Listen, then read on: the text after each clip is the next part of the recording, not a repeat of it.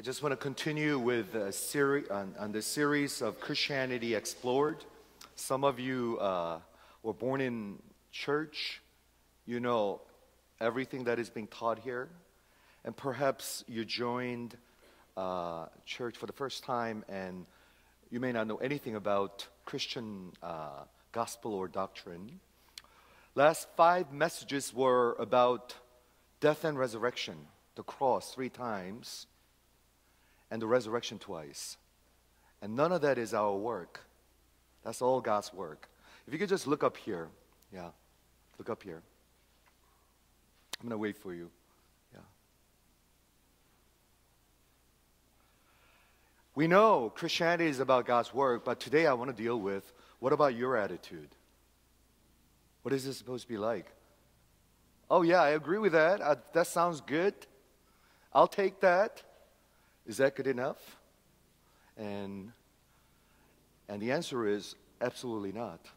Okay? So, what about your attitude? So, today, using uh, this famous uh, story of rich young ruler, and some of you know this story, some of you don't. Uh, during Light of Ministry, I shared a, me- a message, but for those of you who are hearing for the first time, think with me. Do you know any rich, young, successful person? Do you know any? Okay. Anybody? Probably not. Okay.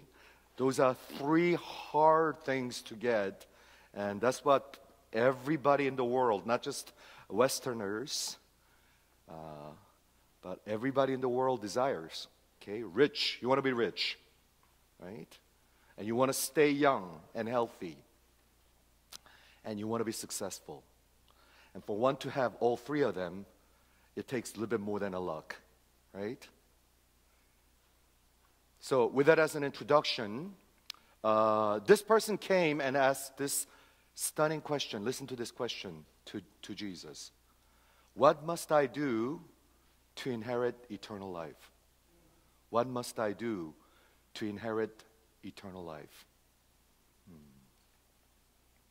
Even with everything that the world is telling you to go after, and this person, I don't know how, but he had, had it all, but he had this uh, deep, empty heart, longing for eternity.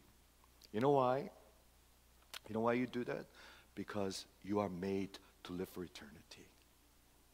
Okay? So, with this message, I thought about I could go into two, two different directions. Okay? Since we, are, we already talked about cross and resurrection, and I wanted to talk about the topic of grace. I don't know whether you understand what that word means grace. I mean, we say it all the time. And so many of you, you know, name grace. But grace. Or the other direction I want to I wanna go is what about salvation and money? How's that work? You want to be rich, don't you? If you want to be honest. You know, that's why we work 60, 70 hours a week, 80 hours a week. Doesn't matter. Right? You want to be rich. So how does that work? Salvation and money and as opposed to grace. And I was really debating which directions to go to throughout this week, and I still couldn't make up my mind. Okay, so whatever the message that Lord allows me to deliver to you. But I think either direction we go, I think it'll be very relevant to you. Okay, so let me let me start with this title. With men, it is impossible. Could you look at the title? With men, it is impossible. What, what is impossible? What must I do to inherit eternal life? Who is saying this? God is saying this. With you, it's impossible. With you, it is impossible. That's what distinguishes Christianity from everything else. That's why we need grace. I hope you're getting the sense. Okay? If it is possible, you don't need grace. You just need sub- supplements. You don't need grace. Okay? So let me begin with that statement. And uh, Titus 3 7 says, sola gratia, which means only by grace. Okay? Only by grace. It's not like you do 70% and 30% grace, you do 90% and then 10, 10% grace, it's all grace. Okay? All grace. And I want to introduce a verse from the Old Testament, Jeremiah 13. It's a peculiar place to talk about grace, but I think it is a good place to, uh, to begin. Okay? Listen to this verse. This is what God is speaking to his people. Okay? So interesting. Can the Ethiopian change his skin? Okay, have you ever seen an Ethiopian? Okay. Uh, or a leopard, his spots. And obviously, the, uh, the, you know, those two questions in the Old Testament, answer is no. It's impossible, right? And then it follows by God saying, then also you can do good who are accustomed to, to do evil. But that's an impossibility. But God is saying, you can. How? Right? Grace, grace. You know, uh, I, I, go to Africa pretty often for the last 14 years, and I've seen Ethiopians. Ethiopians are a little bit different than uh, East uh, Africans. Africans are, they look like Africans. But Ethiopians, they look something somewhere between African and Middle Eastern people. They look a little bit different, but dark, obviously. And we see Ethiopian in the, in the Bible, right? In, in the book of Acts. So, can an Ethiopian change his skin? And they were saying it's an impossibility, right? Can the leopard remove uh, its spots? No. What about we? Uh, what about the human beings? Can we do good? Whom we are so accustomed to do evil? Bible is saying, just as it is impossible for uh, Ethiopian to change his skin, you cannot do good. But God can. Okay? Very interesting verse from uh, Jeremiah. Okay? Let me just read it through one more time if you just stay with me. And I highlighted some of the very uh, important um, verses. So if you could just stay with me.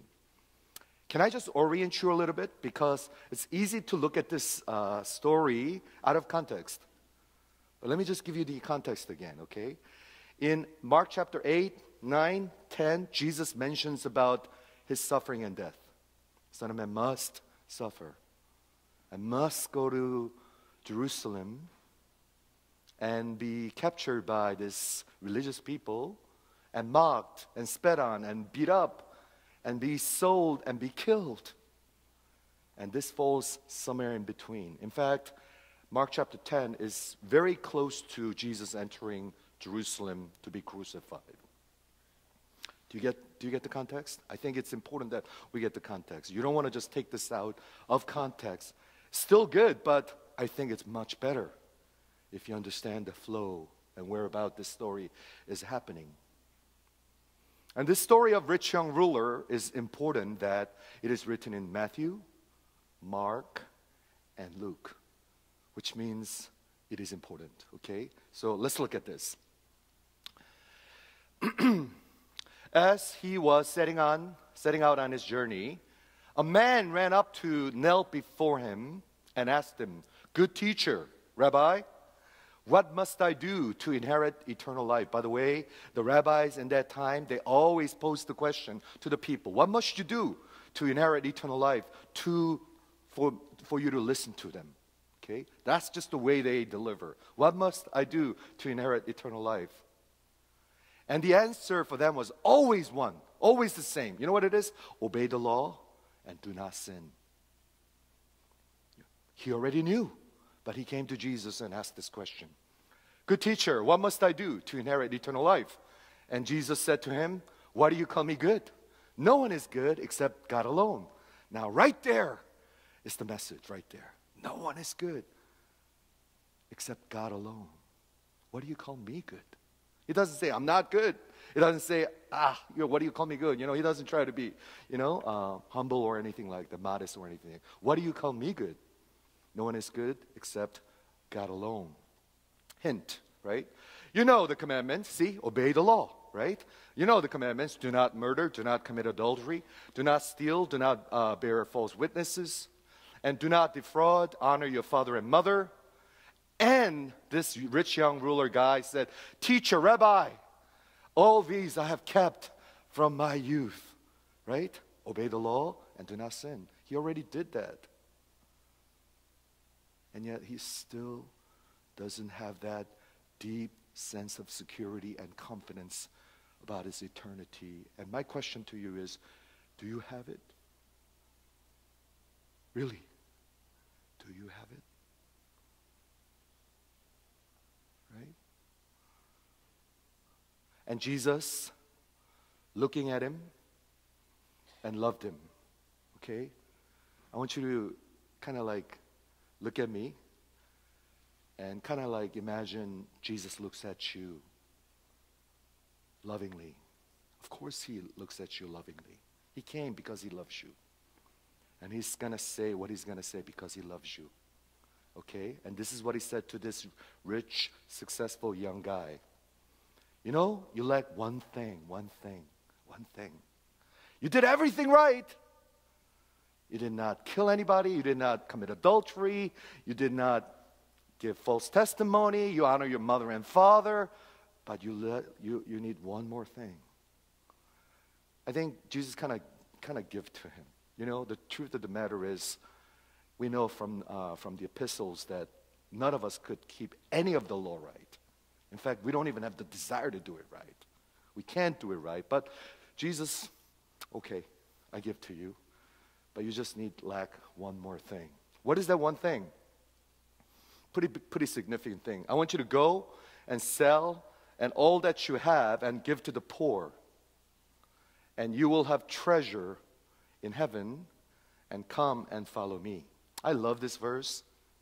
You know, many years ago, I was, you know, kind of like studying this verse, and I come across there are five verbs go, give.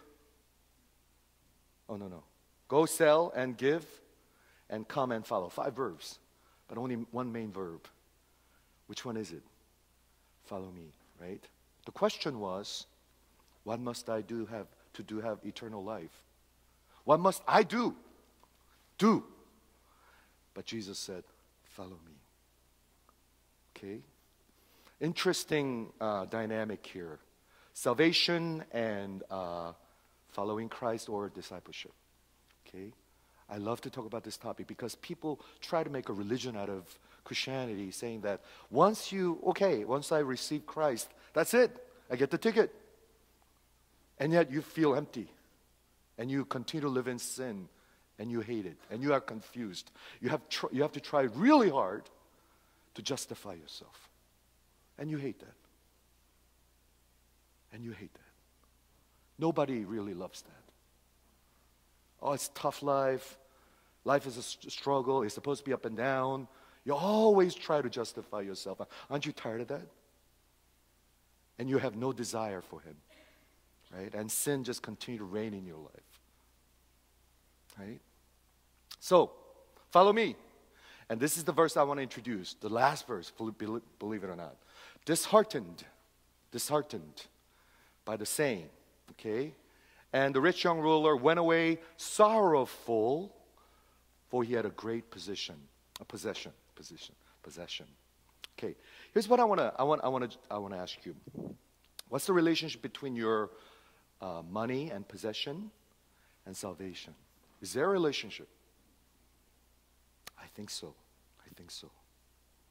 Does this mean that it's an, it's an absolute law that you all have to be poor to follow Jesus? I don't think that's the point of the story.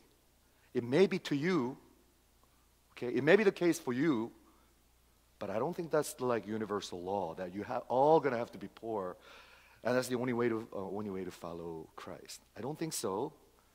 But is there a relationship between possession and money, possession and, and salvation? Okay? I think so. And the key word is sorrowful. Okay? Sorrowful. What does that word mean? Sorrowful means you feel so deeply sad. I looked up, okay, the word, meaning of the word. because you may lose the person or things that you treasure so much. Sorrowful.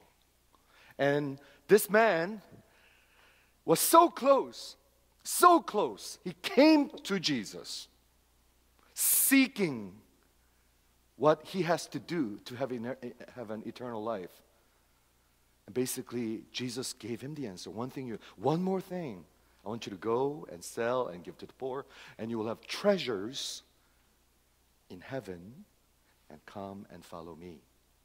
Right? So close. He had the formula. He knew what he had to do. But what happened? He walked away sad because of his great possession, and he was sorrowful. And he was sorrowful. Why? Because he was about to lose something that is so important to him. What is that? Great possession and money. Hmm.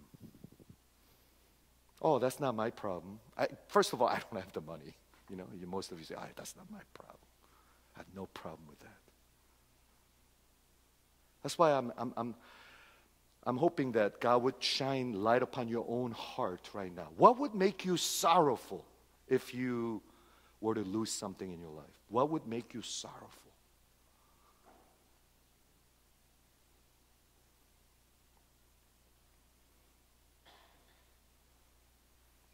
You know, the same word we find only four chapters later when Jesus was in Gethsemane. Jesus was sorrowful. Remember that? To the point of death. What was going on? Right? Same exact word is used in, in Mark chapter 10 with rich young ruler, and same uh, exact word for uh, Jesus in Mark chapter 14. He was sorrowful to the point of death because Jesus was about to lose something, something that is so dear to him. You know what it is? The love of the Father that has continued for eternity. Just a few days ago, after Lola, we had a you know love banquet, and my pastor passed away three months ago, and they've been married for 55 years. And the pastor's wife gave a testimony about uh, last four years where she was kind of taking care of him, and he was in you know in bed, bedridden. And as, he, as she was sharing, I've never seen her. She's so energetic, but she was breaking down. And that's 55 years of marriage. 55 years of marriage. 55 years of good marriage, but not perfect marriage, obviously. But for Jesus, it was eternity. And he was about to lose that. And he was about to experience not only he losing him, but he's going to turn around and pour his wrath upon him. Do you understand that? Can you, can you try to imagine this with me? Right? And he was feeling sorrowful to the point of death. Wow, that's profound if you think about it. In other words, he was experiencing all it, throughout eternity, that was the loving relationship between Father and the Son. Now that's being disoriented, dislocated.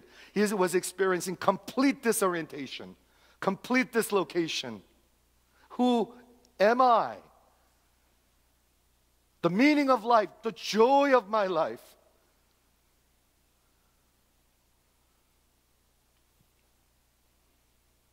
He was about to lose. He was about to lose the joy and the meaning of life. The very self, right? The love of his life. I'm losing the love of my life, my identity, my security, security. He's the center of my being, and I'm losing myself. That's what he was experiencing. Jesus was experiencing. And I know you may be thinking, oh, you're kind of pushing it, but that's what he was experiencing that he was losing what was to Jesus now, and the money was to him. Can I just ask you, how important is money to you?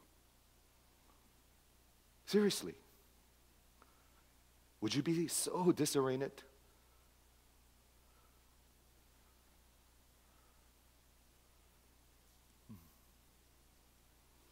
the love of my life, the joy of my life. I was thinking about this throughout this week, and what would, what would that look like? There are a lot of praise songs that was coming to my mind, and we sing songs like this You are my world. You know that song? You are my world. Is Jesus your world or is money your world? How do you know? You spend, you constantly think about it, constantly uptight about it, constantly focused about it through Monday through Saturday. And if that were to be taken away, you'll be sorrowful. Right? And another song, You Are the Reason That I Live. I'm just asking you, is Jesus or is money the reason that you live? You think this is a small one thing that he lacks? I don't think so, right? You know, the story continues and there are more difficult sayings. Okay, if you try to uh, kind of like put uh, money and salvation together, this is what Jesus said. Jesus looked around and said to disciples, How difficult it will be for those who are wealth, who are rich. You want to be rich? It'll be very difficult for you to be saved. Still want to be rich, right? It doesn't matter. I want to be rich. It's, it's difficult anyway. But Jesus specifically singles out, right? And he says, It is how difficult it will be for those who have wealth to enter the kingdom of God. And the disciples were amazed. You know, they were astonished at his word. But Jesus said to them again, Children, how difficult it is to enter the kingdom of God. It is difficult. You may, don't you try to make it easy. Don't you do that, right? Ah, it's nothing. No, you're making up your own religion, I think. And then he gives the example or the picture of how difficult it is. This is how easy or how difficult it is. It is easier for a camel to go through the eye of a needle. Can you imagine that? A camel? The largest creature in Palestine. Okay? A, a camel to go through the eye of a needle, then for a rich person to enter the kingdom of God. What is he saying? It is easier for a camel to go through an eye of a needle, which is an impossibility, than the rich person to enter into the kingdom of God. You want to be rich, right? This is the view of God Himself about possession and money and salvation. I hope I hope you pay, pay attention. And then they were exceedingly astonished. Oh, they were troubled. And they said to, say, said to Jesus, Then who then can be saved? Who can be saved? Who then can be saved? And Jesus says, looked at, uh, looked at, looked at them and said, With man it is impossible, but, with, uh, but not with God. All things are possible with God. I love this section. Oh, man. And I see grace in this section. What grace is? Who then can be saved? With man, it's impossible. You're rich, it's impossible. You poor, it's impossible. But now with God, all things are possible with God. What's going on here? Okay? Can I just ask you what goes on here. I don't know what your view of Christianity is and salvation is, money is. If you think they're, they're unrelated, then you're completely blind. Money is, money is not a living thing. I was thinking about this. Money is like a virus. There is no life in and, in and of itself. But if it find the right host, it becomes a powerful thing. Right host. That was pretty good, right? Yeah. Right RNA stuff. Yeah. It's neutral, but it's dangerous. So dangerous that Jesus talks about money 10 times more than about sex. Sexual sin is pretty bad throughout the scripture, but Jesus talks about in terms of a, just sheer quantity, 1 to 10 ratio, and warns you about money and possession, and you still want to be rich. Okay, what is going on? Okay, what in the world is going on? Can I just explain this? Uh, there is a historian named Andrew Walls. Okay, you could Google him. He teaches that uh, he's a British uh, historian. He talks about the center of religion of history. Okay, and he teaches at Princeton University. And this is what he kind of uh, what, what, what he says. If you look at the center of religion, okay, for Islam, where would that be? It's pretty obvious. It's Mecca. Where is that? Saudi Arabia.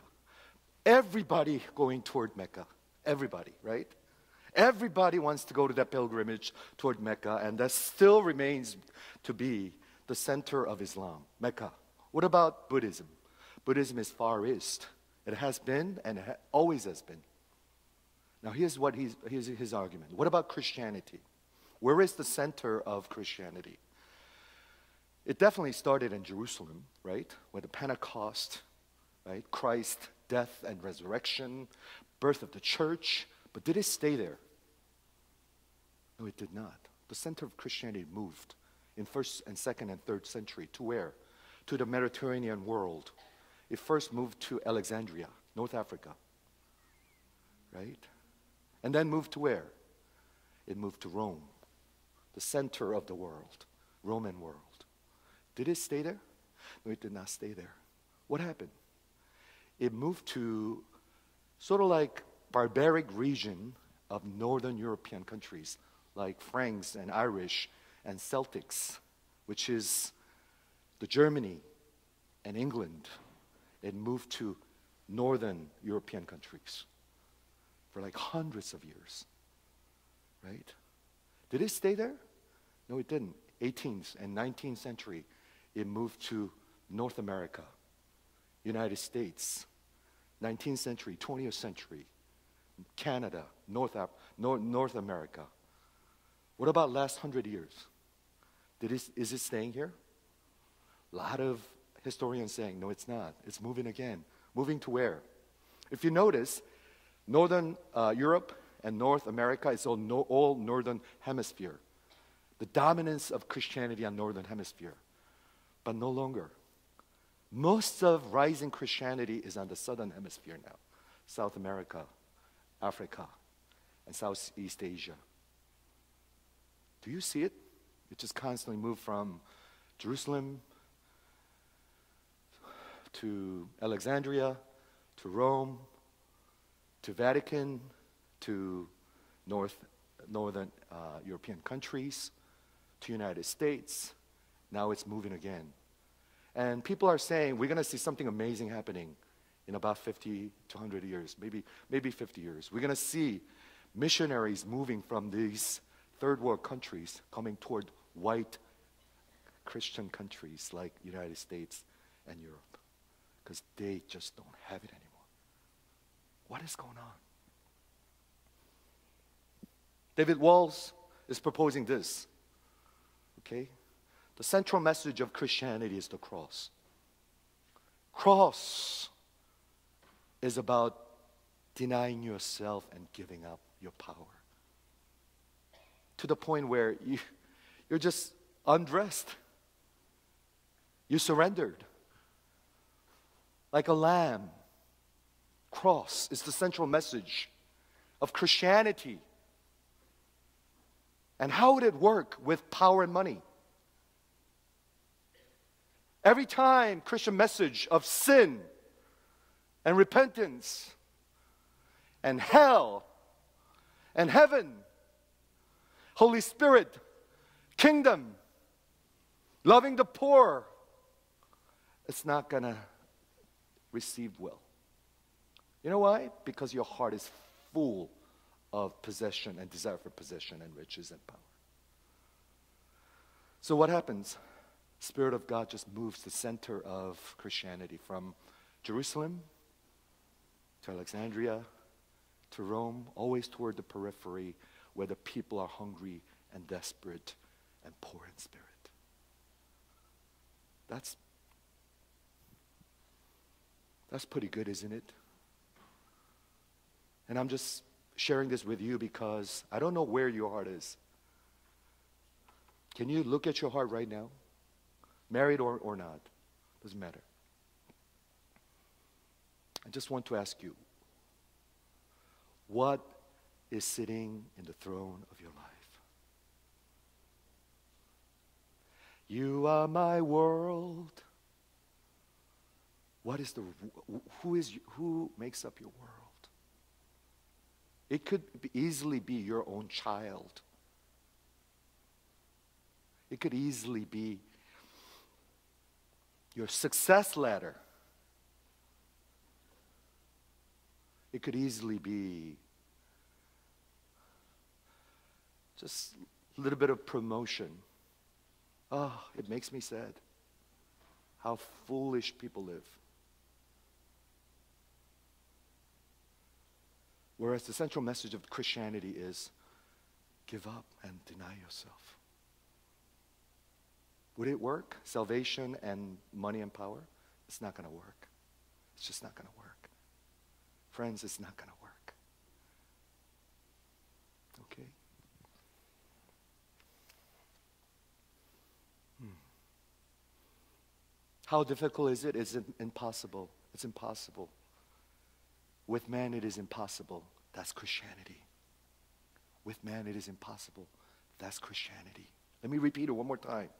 With man, it is impossible. That is Christianity. So, only way we could have salvation is God pours His grace upon me. It's grace. Do you understand that? If you could just grasp that. If you could just grasp that. You just don't have it. You don't even want it. You oppose it. You know, reformists used to say irresistible grace. For those of you here for the first time, can you think of that word? Irresistible grace. Meaning opposite of resistible. The grace needs to be irresistible from God to you because we are so rotten and wicked that if we could resist the grace of God, we will. That's why it has to be irresistible grace. And I hope it gives you some sense of where human beings are, what grace means.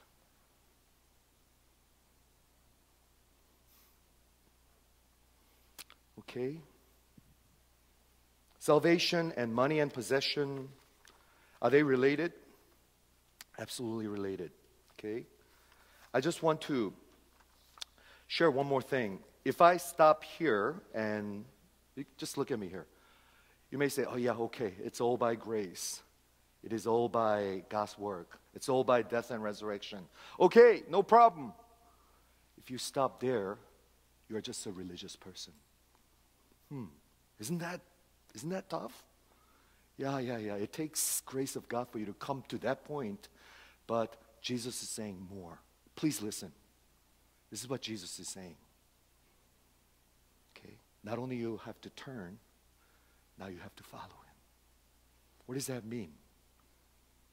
This is what it means. We're talking about rich young ruler.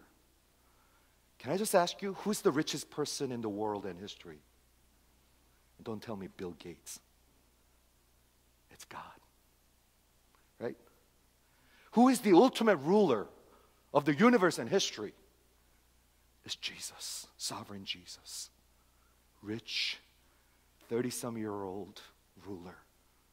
He's the rich young ruler, the ultimate rich young ruler, giving up his prerogatives and going to the cross for a dirt like you and me. And he's saying, is that too much to ask? That's too much to ask? If you just stop there, okay, okay, okay, okay, okay, I got it, I got it. It's all by grace, only by death and resurrection. If you stop there, you are being religious person. That means nothing. You know what you have to do? You have to follow him. And I don't think that's that's a push. How do you how do I follow him? You use your money and possession for Him. You use. and money and possession for him. I don't know you, or most, uh, all of you, but I just assume that I have feeling that there isn't a really rich pe- person sitting here. I may be offending you. I'm sorry. You know, maybe I'm, mis- I'm you know, underestimating you. I don't think you're multi-millionaires sitting here. Okay? It doesn't matter. I never forget what Rick Warren spoke many years ago when I went to Saddleback Community Church for his conference in Southern California. You know, he's a multi-millionaire, and he never wanted to be a millionaire, mil, uh, you know, rich person. What happened was he wrote a journal for his church for 40 Days of Purpose. You know that book, right? It wasn't supposed even, even supposed to be a book, just a journal for his church members, and he compiled it, and it became the bestseller, right? And sold in 180 some countries, and it is still one of the top, you know, most bestseller in the world. And he's getting all these loyalties. And he's, he's so rich, so rich. And he's so popular. And I remember him saying these two things Lord, asking, asking the Lord, what do I do with this too?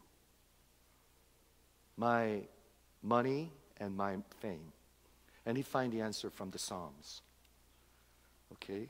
He said, use that fame, which is, to, which is the influence to magnify Christ. I think that's, that's good, right? What about the money? Just give it away. He said, it's not sin to become a rich person, but it is sin to die as a rich person. I just applaud inside of my heart. I applaud. I applaud. Is there a relationship between money, possession, and salvation? You better believe it. You better believe it. It's like virus. Neutral, but potent. Finding the right host. It'll become a deadly, pers- deadly, de- deadly thing. Right? Deadly thing. Okay? With man, it is impossible. But with God, all things are possible. So, only thing we could really cling on to is the grace of God to a dirt like me. We're singing Great Grace. What was that song? Great Grace? I forgot. There's a line that says Great Grace. The more I think about it, it makes sense because, for three reasons, Great Grace. Because God is so great as I get older. The second reason is because I began to see, by grace of God, that I'm a great sinner. And I'm not trying to be a modest here. And the third and the real reason is He gave up His riches and became poor so that I may be rich in Christ. Let's pray.